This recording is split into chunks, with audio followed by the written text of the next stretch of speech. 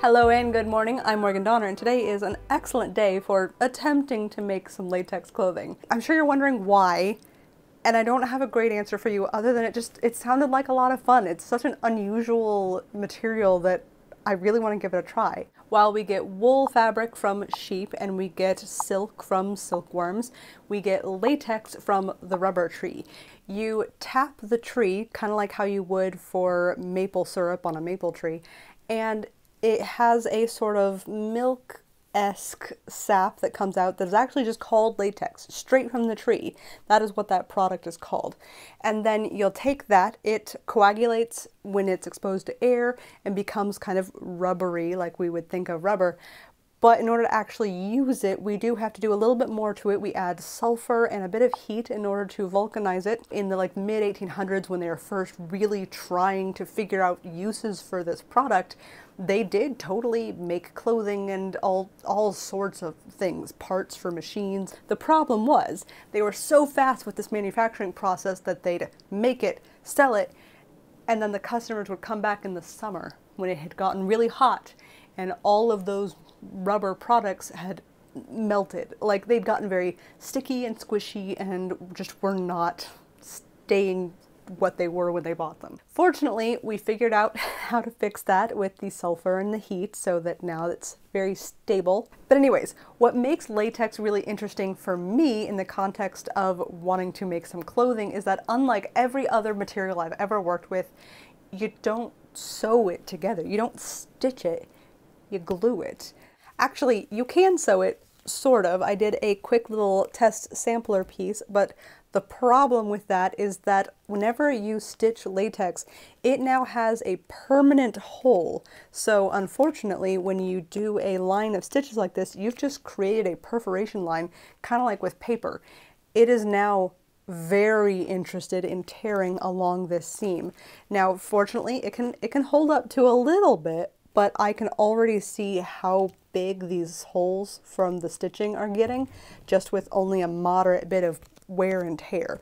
On an actual garment, that seam is not going to last. So you use glue so that it sticks together and doesn't have any holes as weak points. So to give this whole process a try, I got two pieces of latex. This is a 0.2 millimeter thickness, so it's quite thin, extra stretchy. This would be kind of fun as like decorative details on something, but maybe not so much for the whole garment unless you really don't mind that it's quite transparent. Whereas this one I am very excited about. This is a 0.5 millimeter, so it's got a lot more heft to it. It still stretches really nicely, but not quite as, you know, easily as the, the white one. And this will make, I think, a very lovely garment. I particularly think it's so cool that it's blue on one side and then red on the other, which I feel like gives some very fun, you know, design possibilities. So this is going to be my my main fabric for the day.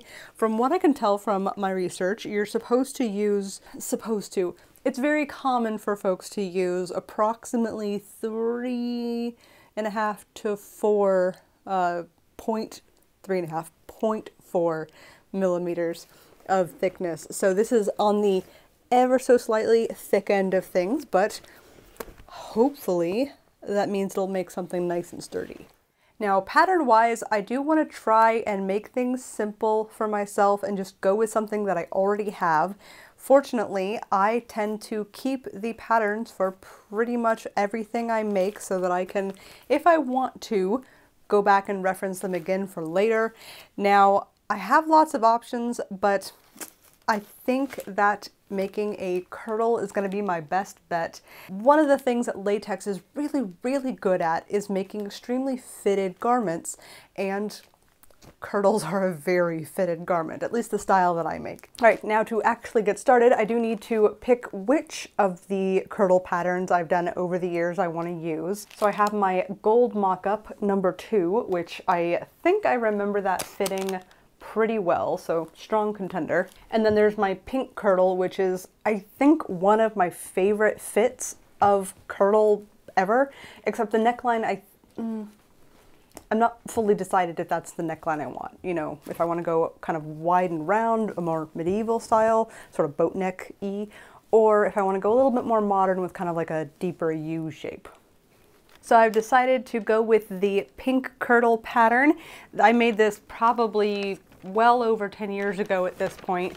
Uh, I think that unlike some of the patterns I've made since then, this has a little bit of a flatter bust curve on that seam, which I think is going to translate better to the latex material.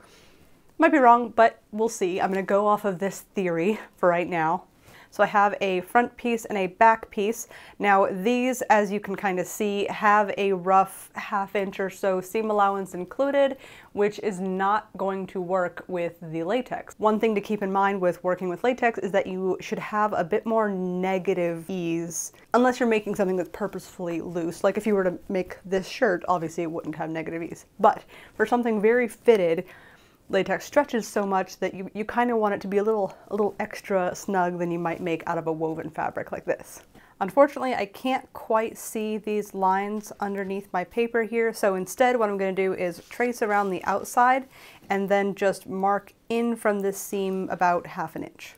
So I've traced out the top half of the pattern, but now we kind of need to think about the bottom half, the skirt portion, and specifically about length.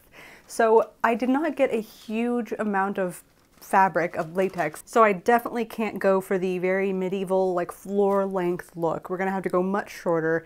So I think what I'm gonna aim for is you know, knee above knee-ish should work well.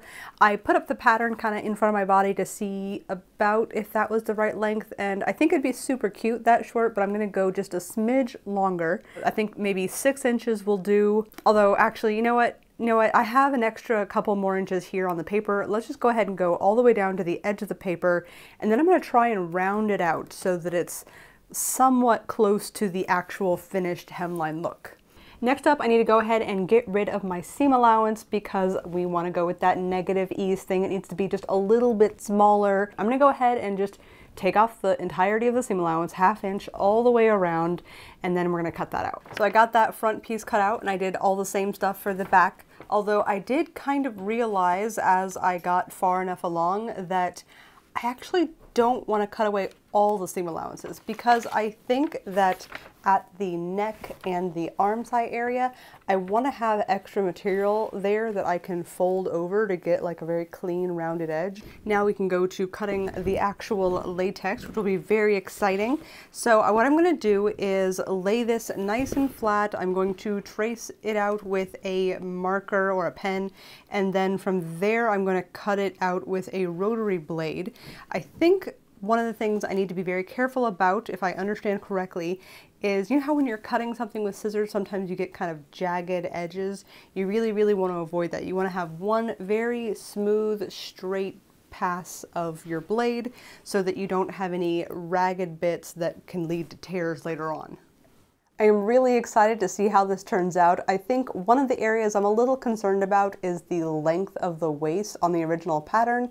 I know that with the pink dress that it was based off of, it does tend to kind of want to compress a little bit lower on the belly, which works beautifully in that fabric, but I am a little bit less certain about how it's going to work in a stretchy latex, but we'll find out. If it does turn out that it wants to scrunch up higher on my waist in a way that is not very appealing, I think that I can I can still fix it, but let's just hope that it works out. Latex has such interesting connotations right now, and I'm really interested in the idea of exploring it in a more everyday wear, although of course I obviously had to go for ridiculous medieval inspired things, but even so, I think that there's there's an element of slightly more casual wear inspiration here as compared to full on like sexy wear.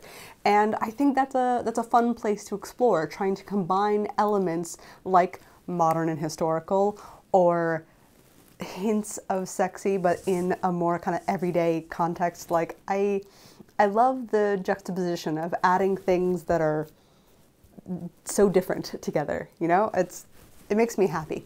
But back to this, we have all of the pieces cut out. My next step is to go ahead and start gluing the seams together. I think I'm going to start out with the back pieces together so that if it's not a very good looking seam, I can kind of get my practice run out on the least visible, at least to me, uh, part. And then, so I'll do the back seam, I'll do each of the side seams, and then the front seam, hopefully I will have had enough practice by that point that it'll look good.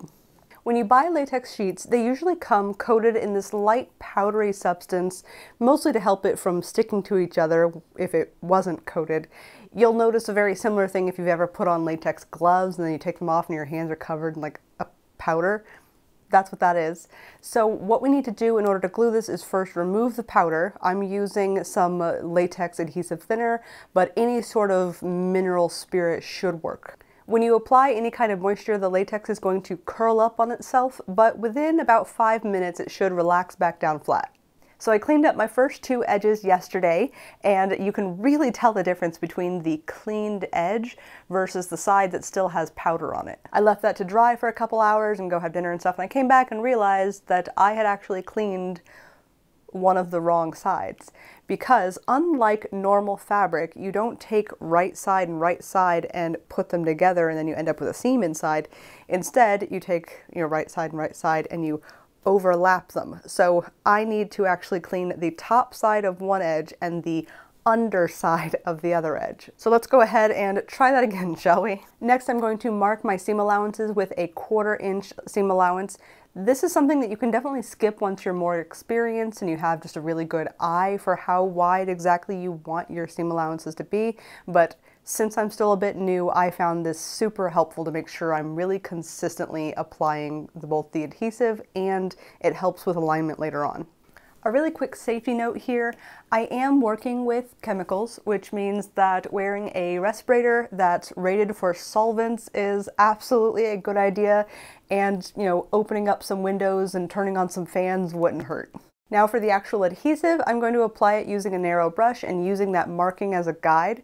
It's going to curl back up again, but since we need to wait five minutes anyway before we actually apply the two seams together, that's to also give it time to uncurl a bit as well. Once that five minutes is done, we're to flip over one of the pieces and then try lining up one edge with that seam allowance marking. If you don't get the placement quite perfectly, you can still at this stage lift it gently back up and then replace it back down. Once you're satisfied though, you're to really cement the pieces together by using a roller. If you don't have a roller, any sort of like jar or you know, hairspray can, any sort of round thing that you can roll it and really kind of press the seams together firmly will work. That said, I am super duper not an expert at any of this and you should probably not listen to anything I say because I'm almost certainly doing quite a bit of this wrong. So, but with that out of the way, we can move on to actually gluing the seams, which I'm really excited for on the actual dress.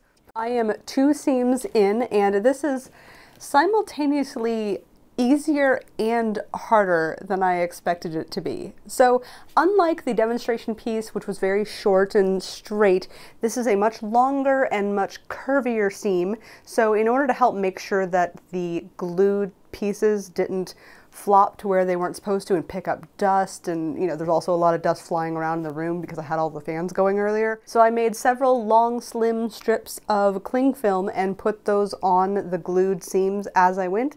That way they could be nice and ready for me while I prepared the other one and that also meant that as I was applying the seams to each other I started at the neck and then kind of went downward it meant that I could kind of re reveal little bits and pieces of the seam rather than trying to have it all at once. Even with just two seams, I'm already seeing a huge improvement. The back seam is really rough. I think it's functional, but it's uh, not very pretty. I think that my technique and like how I lay it down is still getting there. The second one already looks much better, although I had the same problem on both of them, which is that the top seam ended up being a little bit longer at the end when they should be pretty dang close. So I think I'm accidentally stretching the top just a little bit as I go, which isn't great, but I'm I'm hoping that it's a small enough amount that it won't make a big difference in how it hangs and stuff.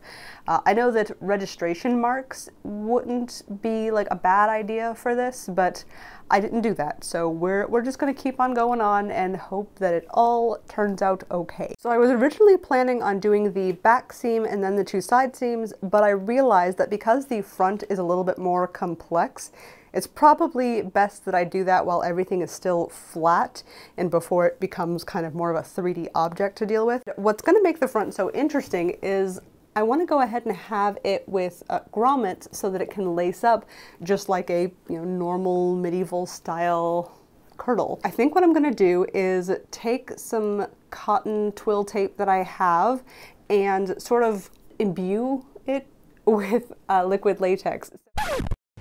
I just had a very, very exciting incident with the glue as I was trying to get the uh, tapes taken care of. Now that I am changed into not glue covered clothing, let's uh, go ahead and get these tapes taken care of. So it's going to soak up the latex. I'm going to let that cure because if you just try sticking cloth to this, it's it's not going to stick. It needs to kind of be married to its own latex and then you can take that and use the latex glue to attach it together. I probably need to let that cure overnight, I'm thinking. And then tomorrow I can glue that to the front here and I'll do that on both of the front pieces. I think I need to have an additional piece of latex on the back just to help really sort of sandwich in that tape and keep it from moving about at all. I'm hoping that's going to work out well. I haven't decided yet if I'm going to do that thing where I fold the edge over to make it nice and rounded there or not. I'll decide tomorrow. Oh, all right. We are making excellent progress this morning so far. I decided in the end that I would go ahead and have the edge overlap so that it kind of makes it smooth there. I think that looks good. I do kind of wish that I had done the strip that sort of covers the tape after I'd done the flippy over part, but uh, I didn't. So I'm just gonna glue it down like this and hope that that works well. There's going to be grommets on top of this, so hopefully that'll help kind of keep everything in place. I did a really quick little like test strip version just to try and kind of wrap my head around how I wanted this to work. So basically I left the seam allowance on one side but then cut it on the other so that when they got glued together it continues that line, you know, because these are both folded back. Hopefully that makes some sense. I think I will add like a little reinforcement patch, kind of like right here yeah, I'm, I'm pretty hopeful that that'll all work out okay. I'm not entirely sure that my explanation for how I was going to join that center front was clear, so hopefully this helps. I taped up the front edge just because I really wanted to make sure that the very top of this matched up perfectly, so I taped that all the way down so that this starts correctly. As you can see, my twill tape didn't precisely end up in the same spot, but that's okay. We're going to move past it so what I've done is I've glued from here down on both sides. On this side, I cut away that extra half inch of seam allowance so that I can now tape it directly over this half inch of seam allowance and visually continue that nice straight line.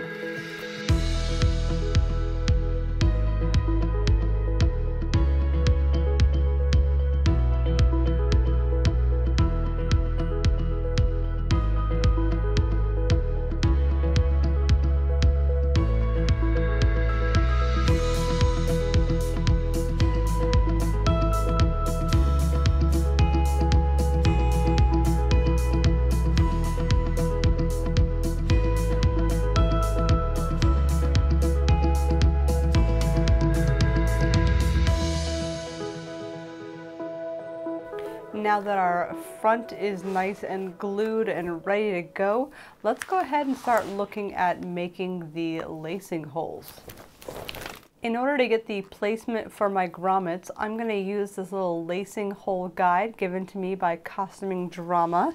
And I'm going to use the one inch marker approximately halfway between the tape. So approximately there, there, there. And then for the other opening, if I want to do a proper spiral lace style opening, I want to go between each of these points. So I've tried to line it up so that these are between, like so. So see how they make a nice zigzag? And then at the top, you just want to make one that mirrors the very starting one. Now that I've got my markings in place and ready to go, we can go ahead and remove this tape. Again, using my philosophy that you want to start in the least visible area, neither at the very tippy top nor at the bottom. We're going to start right in the middle to get some of our practice grommets in. Now that I've got a hole, I'm going to toss in this piece here. I'm going to make sure that all of the front is using the same piece. That way we get a consistent look in the end. If you accidentally switch throughout, it's going to look different because the front side of a grommet and the back side absolutely don't look the same. So just keep that in mind whenever you're working on something like this. And now the grommets are all done and I am suddenly very, very excited to get this finished up because I, I kind of can't wait to try this on. I think the grommets turned out really, really well. That makes me so happy. And there, there's something just very satisfying about them. They feel so clean and neat just right from the get-go.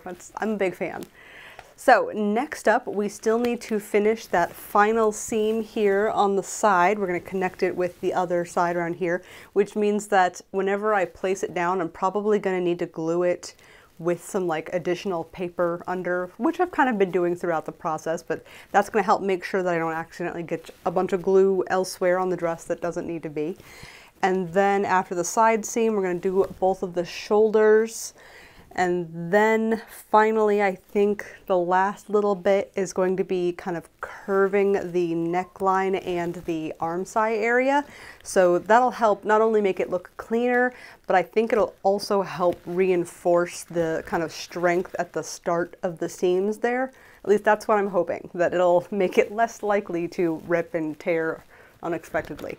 I believe that I originally had a half inch of seam allowance along those areas, but I think I might possibly go just a little bit smaller than that, which means that my straps are going to be a little bit visually wider than I had you know, originally patterned for, but I think that functionally it should still work out really well. So I'll fold it over just a wee little quarter inch and I think that that's going to look really, really nice. It is now looking suspiciously more dress-like than it has at any point thus far. The shoulder seams are done, the side seams done, even the neckline is done. I ended up not doing this armscye here just because visually it feels like it's about right for an armscye, so I think I want to wait and try it on. I really, really want to go ahead and try this on right away, but from what I can tell, conventional wisdom is to try and give the glue at least 24 hours to sort of settle in really nicely. So I guess I will go ahead and wait before I give this a try, but I am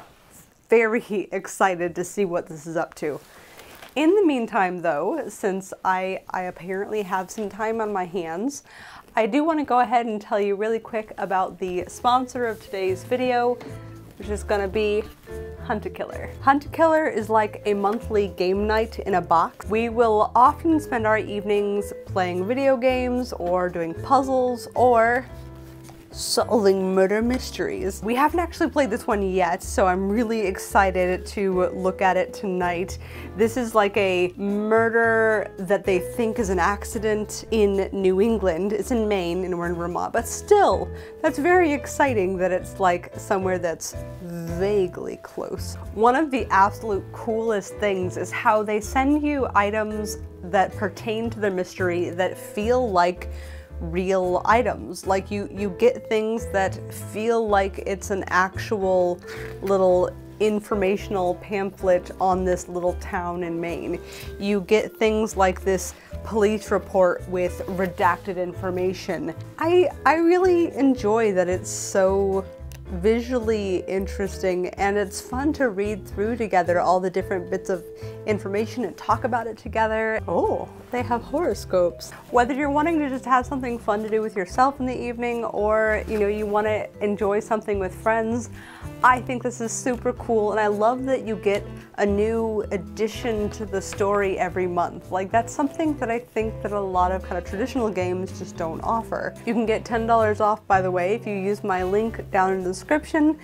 I think you guys will have a lot of fun. It is the next morning, so it's it hasn't been 24 hours, but I don't want to wait. I want to I want to try it on really quick, see what we're looking like. So I am going to go ahead and add some lacing string here next. I think it is looking very cute so far.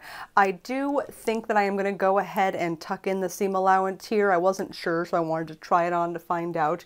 There's also some glue spots around as well as dog hair covering this whole thing, so it needs to get cleaned up to, before I can show what the, the finished thing looks like. I also do need to trim the hem evenly because there's bits where it's jagged, you can kind of see there. So I need to clean up those, but once it is all cleaned up and completely, you know, tucked in and everything, I'm excited to show you what it looks like.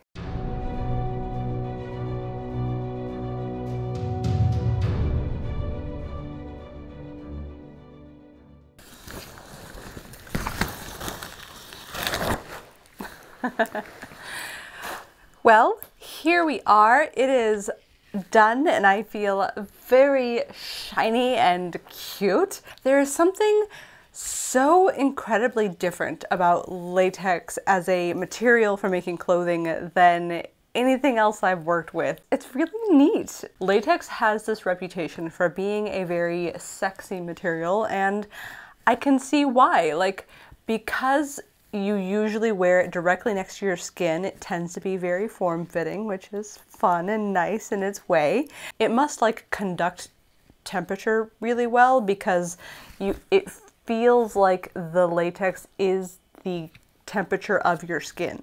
Does that make sense? So it feels skin-like and yet it's not. Like I, I can definitely see the appeal. All in all, I would say that my first foray into latex garment making went pretty dang well. There are definitely some things that I wish were a little bit different. Arm area here is a little bit looser than it needs to be with fabric. Like this stretches so much that I, I could have made this a little bit smaller and not had to have had as much excess there. It's passable. It's just the things I would change if I could. Like I feel like the the waist has a little bit of wrinkling where the excess material wants to scrunch up to the smallest point of my body.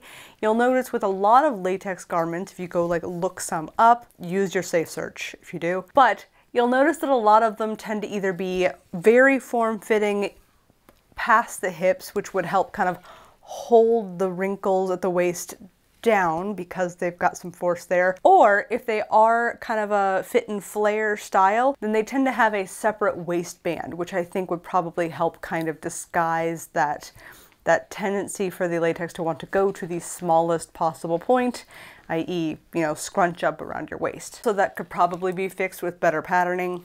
But as a finished garment, I think it turned out pretty well and Part of, I think, what makes me really excited about this is, of course, it looks pretty nice in the way that you usually wear latex garments, which is to say, by themselves. But I was really curious about the idea of wearing it under something. Actually works pretty dang well. I recognize that I might not be the person to give such an opinion since I very often like to wear shirts and things underneath my dresses, but it's really comfy and I don't see why people don't do it more often. I had a lot of fun making the dress as well as some very quick accessories like the veil and wimple that you saw a moment ago and this cute little belt that I thought might be a nice addition to the look.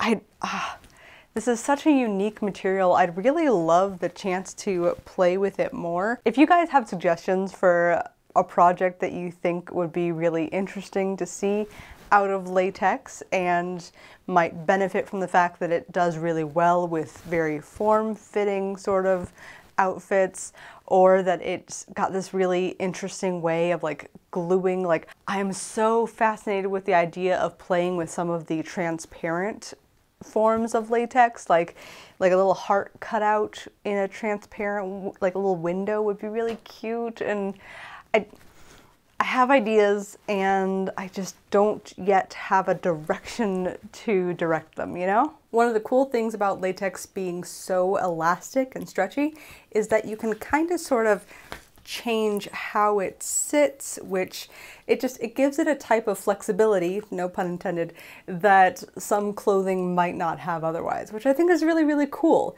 It definitely does have its downsides though. For example, it is not super UV friendly. You shouldn't just be outside all day every day in your latex. You don't have to like completely stay inside, but just, you know, kind of be aware of it and maybe don't store your latex clothing anywhere near where the sun can, can be on it for a long period of time. It also needs to be taken care of a little bit differently compared to your standard clothing. You can't throw it in the washer and the dryer, but if you don't mind, you know, having some clothing that you have to hand wash and maybe kind of treat a little bit more delicately, it is a very fun option that I think you should consider. Thank you guys so much for watching my very silly whims as to like a thing that I wanted to try out. And I, if you guys like it, I, I'd really love to do more. I think it's really interesting and I feel like I've just barely scratched the surface. So let me know. Any hoodles. I have a date night to get to, so you guys have a lovely day. Check out Hunt a Killer. It's a really fun date night game, actually, oddly enough. Uh, and I think you guys will have a lot of fun checking it out and maybe enjoying future videos from me. All right, see ya.